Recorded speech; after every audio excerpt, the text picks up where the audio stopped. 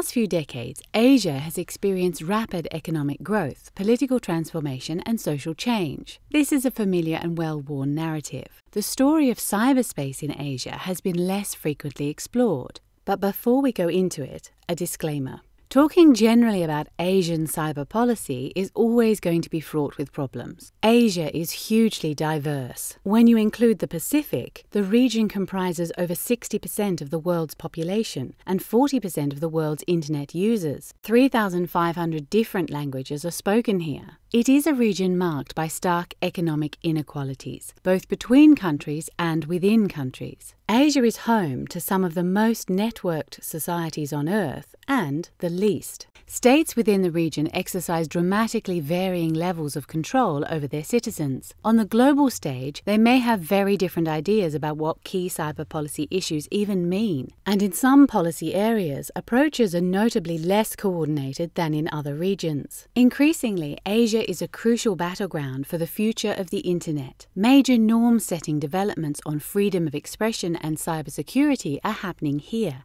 and it plays host to many competing visions of cyberspace, from China's Great Firewall to ambitious connectivity and e governance schemes like Digital India. In this video, we can't pretend to capture everything. Instead, we want to give human rights defenders a basic grounding in the cyber policy landscape in Asia, where key policy issues are being discussed, and how civil society and other actors can engage effectively in these debates.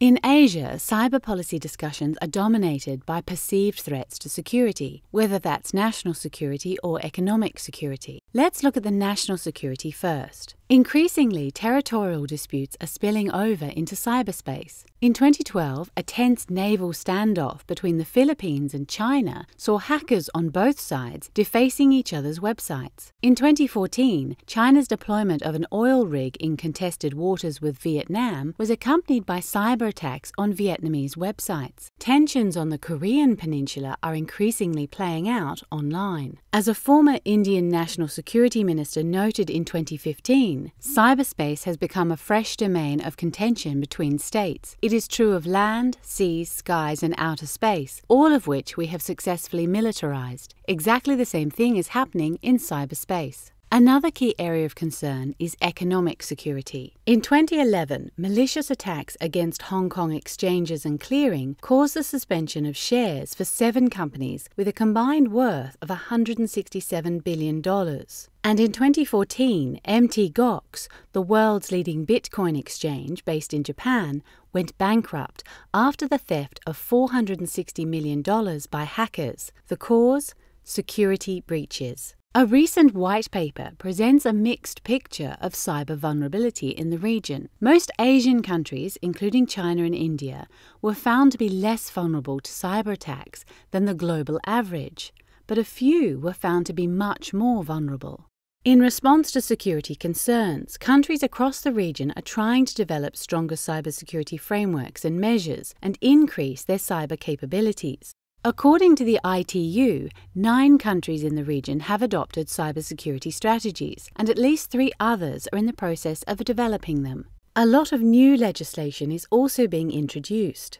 In 2014, Pakistan updated its 130 year old surveillance and interception law with the Investigation for Fair Trial Act, with the stated aim of regulating advanced and modern investigative techniques. And in response to fears that other states might be exploiting geospatial data, India has introduced a draft bill which would place heavy restrictions on unauthorized digital maps of its territory. But while often introduced in the name of cybersecurity, in some cases these new laws threaten to undermine human rights by introducing new surveillance measures and imposing controls on content. Human rights defenders are resisting this trend. In the Philippines, for example, a clause in the 2012 Cybercrime Prevention Act, which criminalized libel, was struck down after a campaign against it. The same activists then used crowdsourcing to draft a new bill called the Magna Carta for Philippine Internet freedom, in direct opposition to the law. And in India, an often misused section of the Information Technology Act, which criminalised the sending of offensive or annoying messages over the internet, was struck down after sustained public protest. In some states in Asia,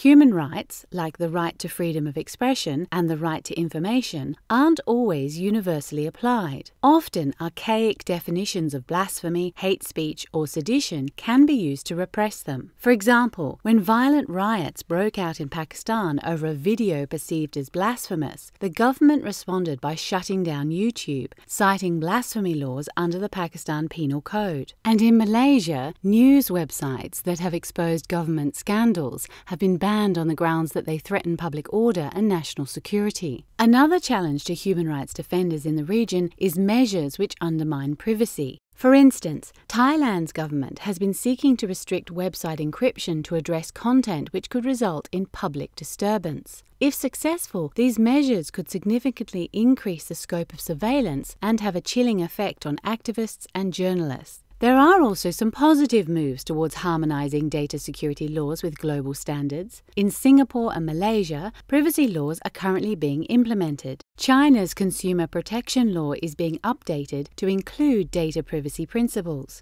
A task force to study right to be forgotten reforms in South Korea has been set up, and at the regional level, a framework for privacy has been drafted by Asia Pacific Economic Cooperation members.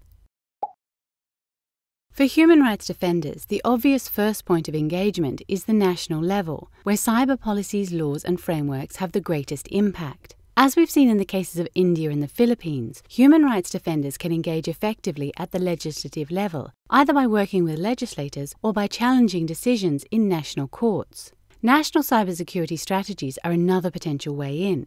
These already exist in several countries in Asia, but are missing or still in development in others. Human rights defenders should follow the development of these strategies closely and ask questions. Does the strategy have a specific mechanism for stakeholder engagement? And what portion of the budget has been allocated for cybersecurity? But cyber issues don't respect national borders. Addressing them requires coordination at the regional and global level with the involvement of different stakeholder groups. In Asia, regional cooperation takes many forms and varies depending on which part of the region you're looking at. In South Asia, coordination tends to be done through bilateral and multilateral channels. It remains one of the least integrated parts of the world, despite the existence of regional bodies. By contrast, East Asian regional cooperation has grown stronger over time and mainly centres on the Association of Southeast Asian Nations, or ASEAN, a political and economic organisation of 10 Southeast Asian countries. Unlike its African and Latin American counterparts, it doesn't have a court. But through its regional forum, efforts have been made to build a framework for addressing criminal and terrorist activity in cyberspace.